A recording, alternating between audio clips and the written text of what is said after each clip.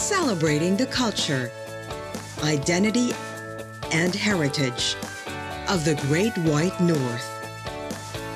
Happy Canada Day!